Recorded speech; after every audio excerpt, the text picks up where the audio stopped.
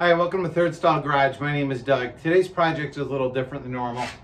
Got a 1960 Mallard tin can, uh, Can-Am travel trailer that I would like to turn back to raw aluminum. This beautiful tan with a black stripe to me is about as beautiful as a manila envelope. Um, I had a piece that I cut out earlier to put a door in and uh, tried the stripper on it. I kind of like the way that it came out, so I'm gonna be doing that for the whole trailer. Um, if you like projects like this or anything else on my channel, I encourage you to subscribe, hit the bell notification, and thanks for being part of the Third Stall Garage. Stay tuned to see how this comes out, and never done it before, we'll see how it works.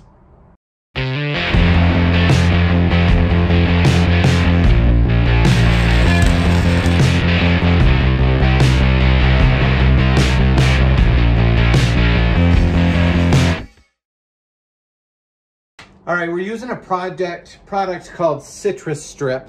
You can get it at Lowe's, uh, probably other big box stores.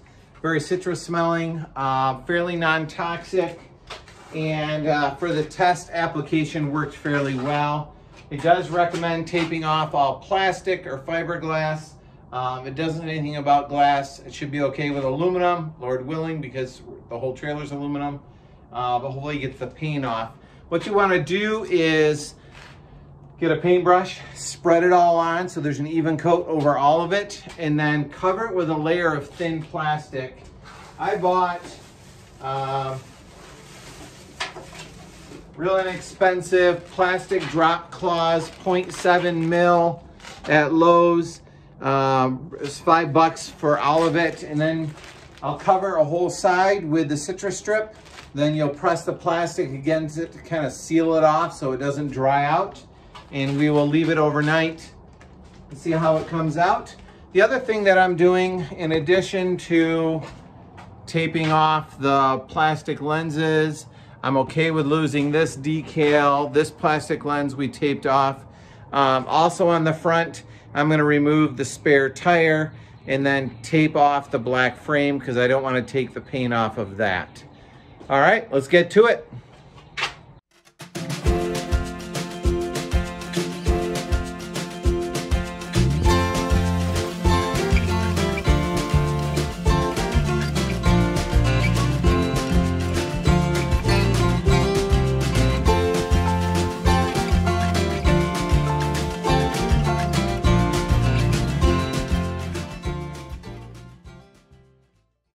Good morning, heading out to the garage. It's a beautiful Saturday morning.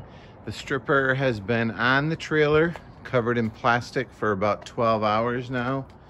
And uh, you can totally see how the paint has bubbled up. Um, black paint, not quite as much. Um, curious to see how that goes. And now it is time to pull the plastic off got a plastic scraper and we will see what it looks like. I'm nervously excited. I had started doing this in time lapse, but you gotta see this. This is amazing. The paint's just falling right off of it.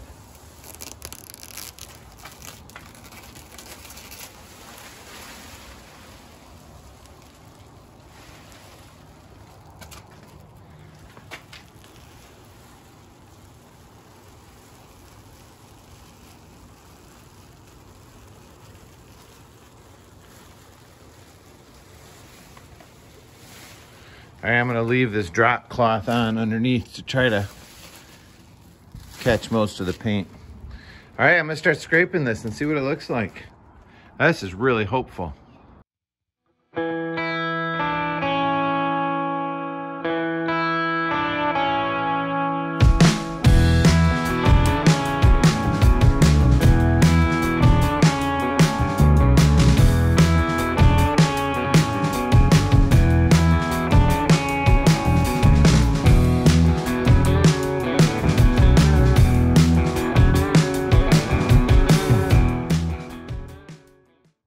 I think all of the paint is off. That took me maybe 10, 15 minutes of scraping.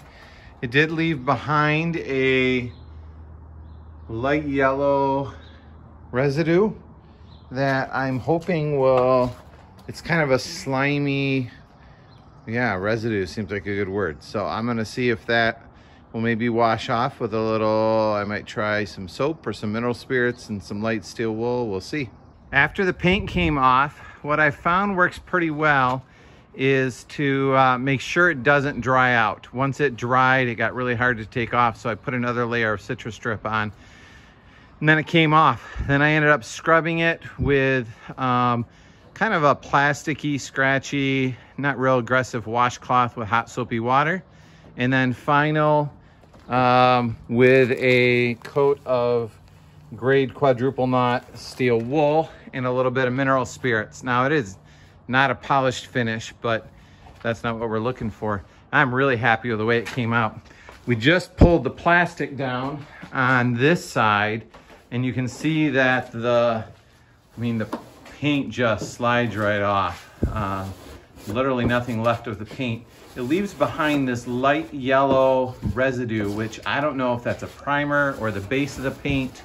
Um, that's the stuff that if we let it get dry, it gets really hard to take off. So we're gonna scrape the paint fairly quickly and then uh, start scrubbing it clean and I'll show you the end product. Trailer's coming along nicely. The front and the first bit of the side is uh, scrubbed and cleaned. So where I am in the process now is on the back, uh, I have the first coat of stripper on, plastic over it, and you can totally see how the paint is all bubbled up.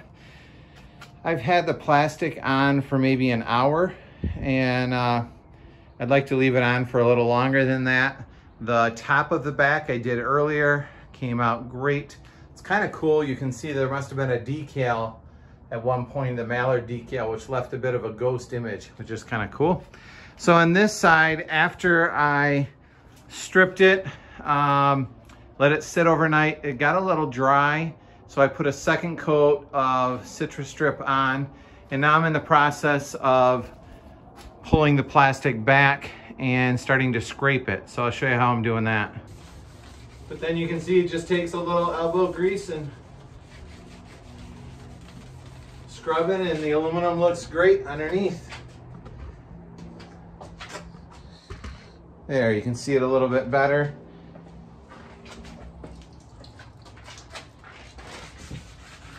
Same thing with a steel hinge in the door as well. So now I'm basically just scrubbing it with hot soapy water, getting it nice and clean. From this point out, it's just kind of elbow grease to keep going. Hard work, but it's not too hard to do. And here's the finished product. It is, uh, you know, by no means perfect, um, but overall, I like the vintage look to it.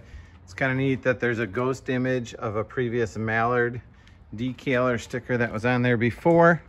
You know, it shows it's 61 years old. It's got a lot of little dents and beauty marks and scratches in it.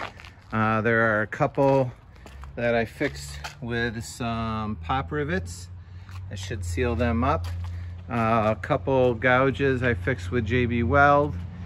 The door is steel, not aluminum. Right now it is just stripped. And uh, there's the original color on the inside. So we will need to paint or clear coat the door. I haven't decided what yet. I'm curious if anybody out there has suggestions or pictures as to what you did with the trailer that you stripped uh, with a steel door on it. I'd love to hear your ideas. Um, in total, between my wife and I, I think we probably have 16 to 18 hours into stripping it. Um, went through four bottles of Citristrip. Uh, two of them were the one quart 32 fluid ounce. And I think two of them were the larger double size of that.